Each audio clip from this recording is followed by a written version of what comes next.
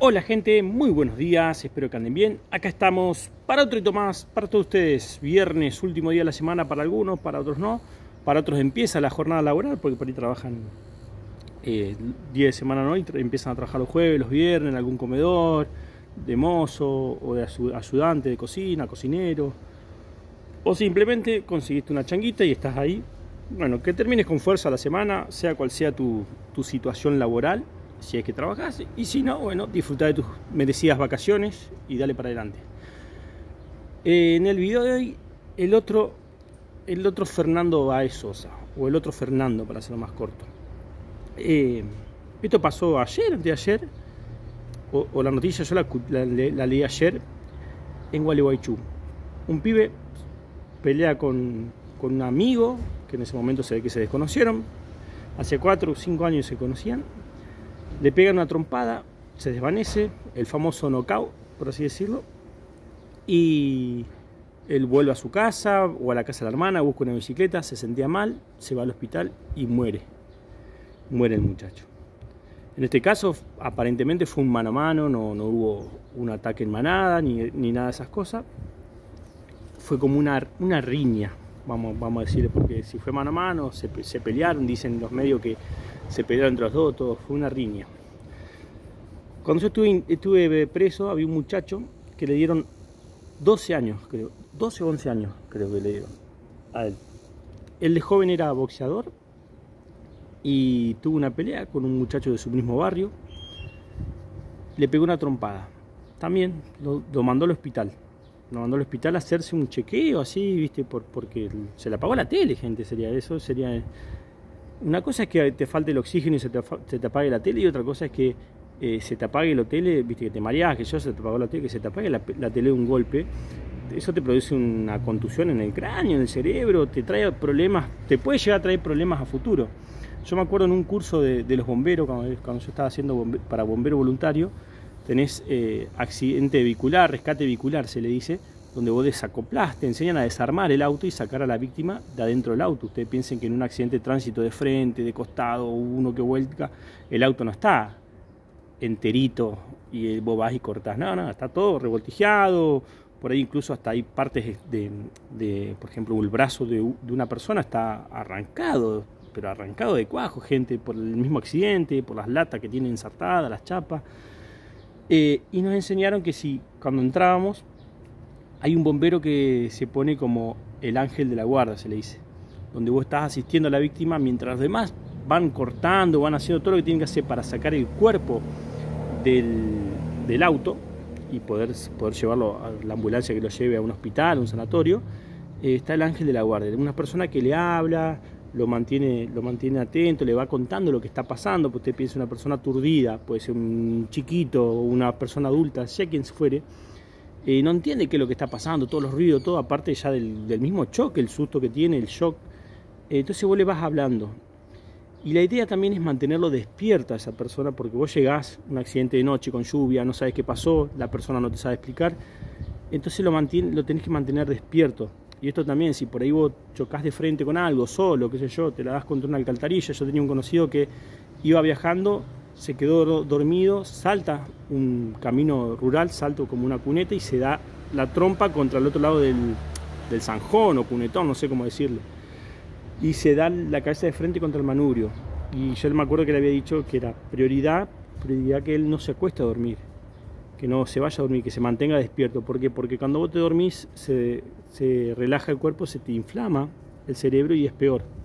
Bueno, en este caso él eh, me hizo caso, la pasó bien. Y eh, el ángel de la guardia hace eso, que a veces eh, suele estar dentro del mismo habitáculo, a veces afuera, por ahí tapándole con una sana porque le están cortando un hierro acá para no lastimarlo con, las chispas, hace eso, que se mantengan despiertos para que no pase eso de que por ahí sea un, un, daño más grave el, de, traumatismo que sufrió.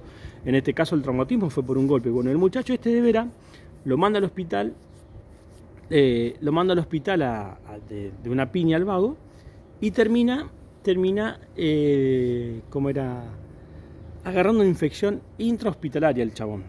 El tipo ya había salido medio de, estar internado, supuestamente había ido a jugar al fútbol, después volvió de nuevo al, a, ¿cómo se llama? al hospital y agarra una infección intrahospitalaria y muere. Muere por la infección intrahospitalaria. Pero ¿cuál, es el tema acá? Si ese, ese preso nunca le hubiera pegado una trompada, o, nunca lo hubiera mandado al hospital, él nunca hubiera agarrado esa infección intrahospitalaria.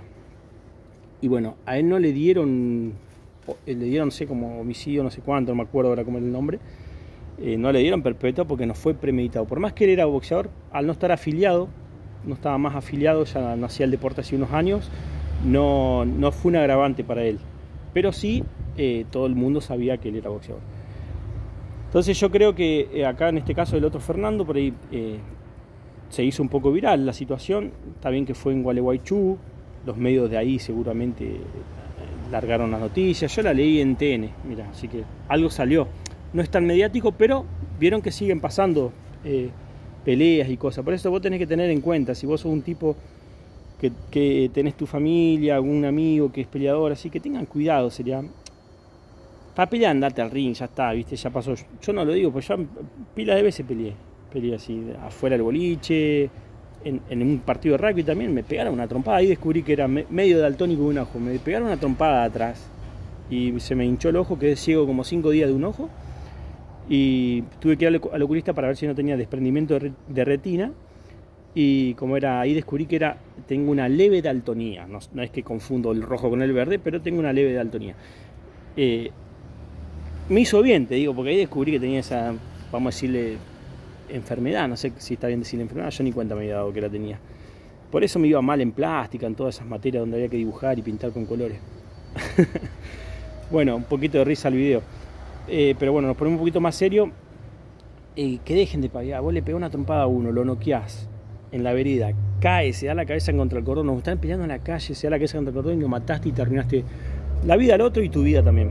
Porque sufren todos, sufren los padres, la familia. El otro día leí un artículo de la mamá de dos de los Pertosi, eh, que está ahí.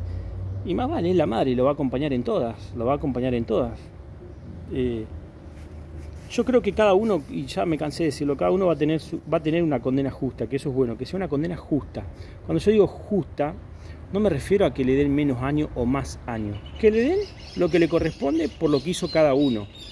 El que mató, mató, viste, que eso también eh, está complicado cuando, por ahí cuando lo que contaba yo en otro video, estos pibes que mataron a dos a la salida de un boliche, entre seis, eh, le dieron homicidios, eh, riña seguido de muerte, porque, porque no pueden comprobar cuál de ellos fue el que lo mató. Primero que no había cámara, era otro, era otro, otro contexto nada que ver al de, al de Fernando Baez Sosa. Pero eh, se sabía que eran ellos seis, eso seguro. Le dieron seis años, por eso, de los cuales cumplieron tres por un lado, salieron a esperar juicio tres años con prisión preventiva como están los Roviera ahora. Salieron a esperar juicio afuera y, y, cumplieron tres años, dos años y algo más, un año y algo más, perdón, y salieron con libertad domiciliaria para, para el COVID. Con eso ellos salieron con, domiciliaria. Después le dieron eh, condicional y ahora creo que siguen con condicional. No sé si ya cumplieron toda la condena o no. Eh, pero bueno, yo cuando digo eso, que tengan la condena justa, que sea lo, que le corresponde a cada uno. Yo creo que hay, como te digo, si no tuvieran que estar los 10 la misma, ¿me entienden? Los 10 sentados ahí en el banquillo, sino lo que corresponde. Bueno, vos hiciste esto, tanto es tu condena vos hiciste aquello, tanto es tu condena. Yo no, me pongo en, términos eh, técnicos ni, ni, legales, no me pongo a decirte este, para mí es esto, esto, aquello. Yo sé que hay dos, máximo tres que van a tener perpetua y los demás van a tener una condena elevada, cautivo elevada de más de 12 años para arriba, y como era, pero que no llegue a los 35 años, eso seguro que no. Em, se me entiende, pero seguramente dos o tres van a tener, eh, ¿cómo era? Eh, cadena perpetua Perpetua, sí. Así que bueno, gente, quería dejar este video para que vean que la situación, por más que salgan las noticias, yo a veces digo, ¿será que estas cosas los alientan? Yo por ahí a veces hablo, digo, ¿cómo un tipo puede estar sabiendo lo que le pasa en la cárcel?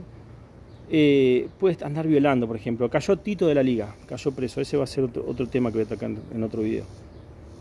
¿Y será que esto que uno les cuenta por ahí que, que, ya el, violador lo apartan, tiene su propio pabellón, que viven bien, que uno por ahí tiene esa tarea de, difundir algo y, es, la otra persona lo toma como que, bueno, lo voy a hacer total, la voy a pasar bien? ¿Será que uno con esos videos por ahí despierta ese, ese, ese caníbal que hay ahí, ese, ese loco que, que quiere hacer esas cosas o no? ¿Ustedes qué opinan? Gente, les mando un abrazo y será hasta el próximo video. Chau, chau.